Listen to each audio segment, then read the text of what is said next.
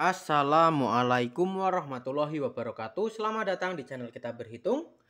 Pada kesempatan kali ini kakak akan mencoba mengajarkan bagaimana sih cara mencari panjang diameter lingkaran yang memiliki keliling 154 cm Kita langsung saja ya, silahkan diperhatikan. Ingat diameter itu yang dari samping sampai samping Ini yang ditanya diameternya.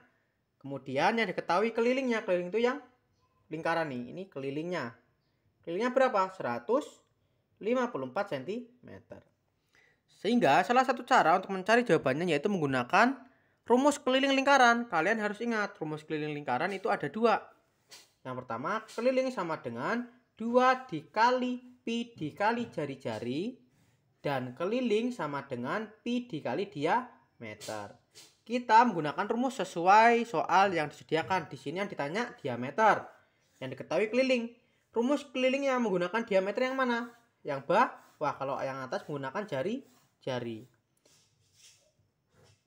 kita tulis ulang rumusnya. Keliling sama dengan pi dikali diameter. Kelilingnya berapa? 154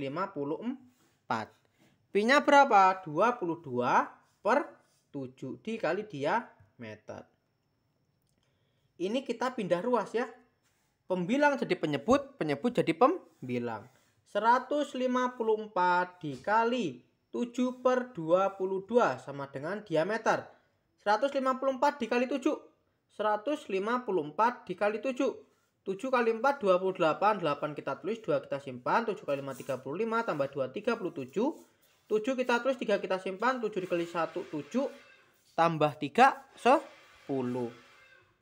Hingga hasilnya 1078 per 22 sama dengan diameter. 1078 dibagi 22 berapa? 49. Satuannya cm, 49 cm sama dengan diameter.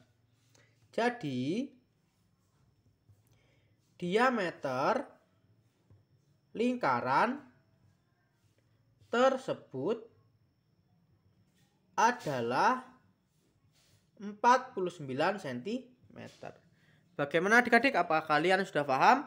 Apabila kalian sudah paham, kalian luar biasa. Apabila belum paham, silahkan ulangi lagi videonya. Apabila ada yang ingin ditanyakan, silahkan tulis di kolom komentar. Sampai jumpa di video berikutnya. Wassalamualaikum warahmatullahi wabarakatuh.